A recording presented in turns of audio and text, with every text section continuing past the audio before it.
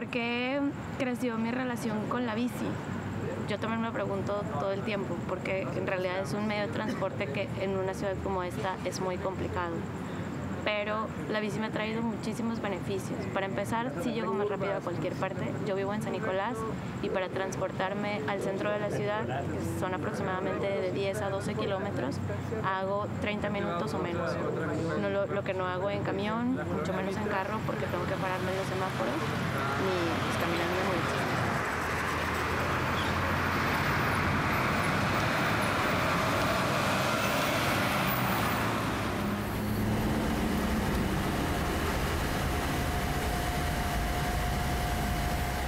Bicicleta ha sido para mí el invento, el, el, mejor invento del siglo porque realmente nos ha proporcionado a toda la humanidad mundial, primeramente, salud, economía, un transporte ecológico. ¡Una bici más! ¡Un coche menos! ¡Una bici más! ¡Un coche menos! ¡Y lo más! Este es Junco. Este es Junco. Y luego el canal.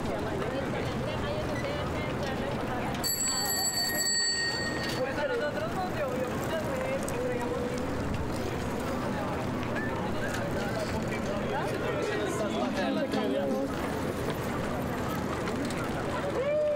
Ya la vi, la de las. Bueno, me empecé a interesar en el pueblo porque, bueno, soy amigo de tiempo de, de Huicho, uno de los, de los fundadores. Este, y empecé yo a moverme en bicicleta después de todo lo del huracán Alex. Este, las calles estaban muy despejadas, entonces fue cuando me animé yo a empezar a salir en la bici a la calle. Antes solamente hacía recorridos muy cortos, ¿no? En realidad no sabía lo que era todavía moverse en bici en la ciudad. Entonces realmente hasta que entré al pueblo fue que empecé a moverme en bici en la ciudad. Nosotros somos Pueblo Bicicletero, somos un colectivo ciudadano que promueve el uso de la bicicleta como medio de transporte en una ciudad que está hecha para el automóvil. Y como les decía, venimos desde el centro de Monterrey, desde Colegio Civil, ahí en Washington y Juárez, con un mensaje sobre esta campaña de Anda de Tos Pueblo Bicicletero, como otras 50 organizaciones ciclistas, pertenecemos a la Bicired, la Red Nacional de Ciclismo Urbano, y tenemos una campaña que, como les digo, se llama Hazla de Tos por aire limpio, que consiste en actualizar la NOM, es decir, todas estas normas que se encargan de proteger y vigilar la calidad del aire de nuestras ciudades. Estamos dentro de las primeras tres ciudades más contaminadas de todo el país. Cada año mueren más de 14 mil personas por este tema. Entonces realmente es una, debe ser una prioridad para nuestros gobernantes.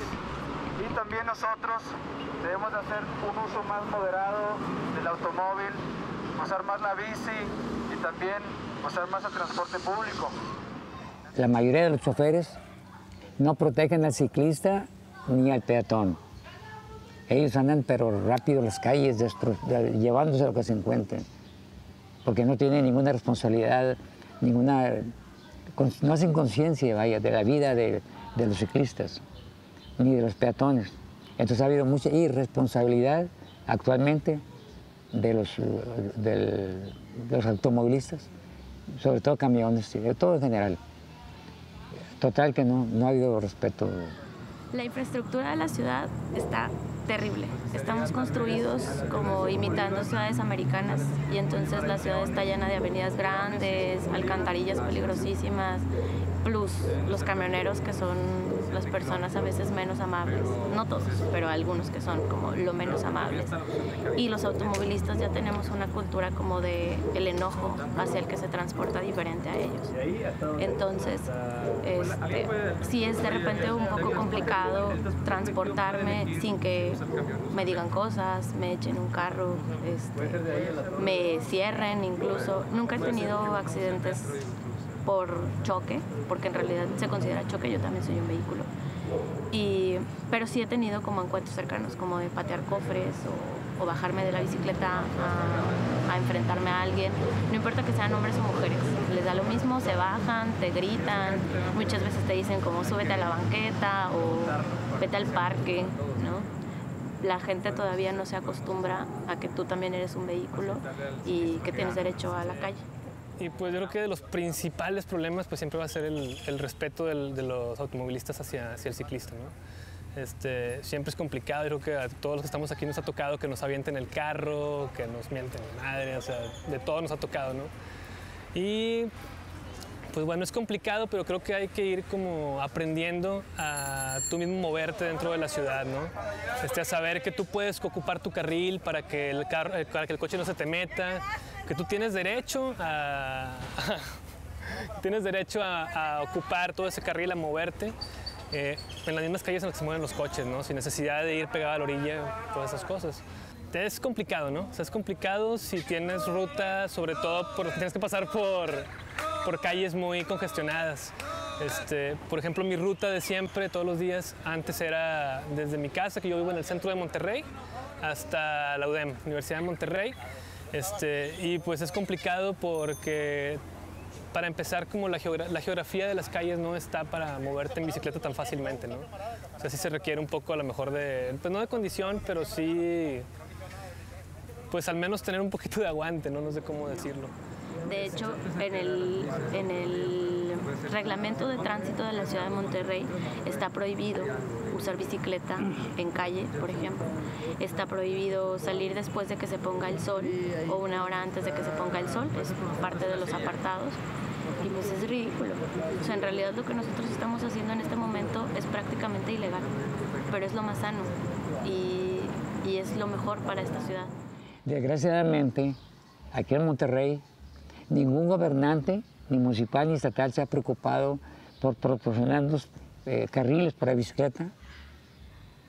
Desgraciadamente no saben ni por qué no han tratado de, de, preservar la vida del ciclista y de los peatones.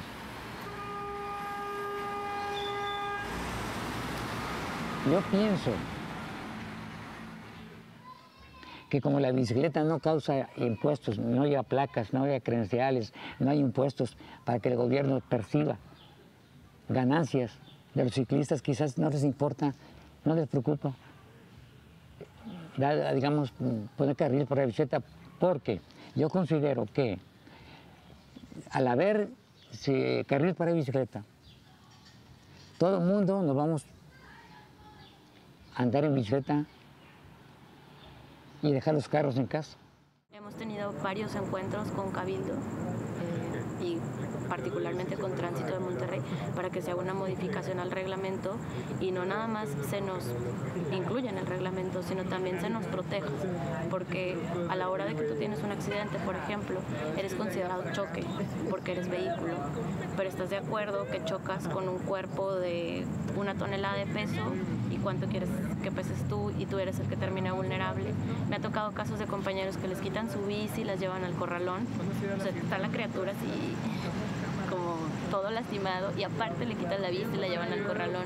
O sea, para lo que no nos conviene, somos considerados vehículos. Pero para lo que nos conviene, que es que se nos proteja y que se nos procure, que se nos incluya, no. Entonces, realmente ni Cabildo ni Tránsito de Monterrey en particular procuran que te muevas de otra manera. Aquí, si no tienes coche, no deberías de salir de tu casa.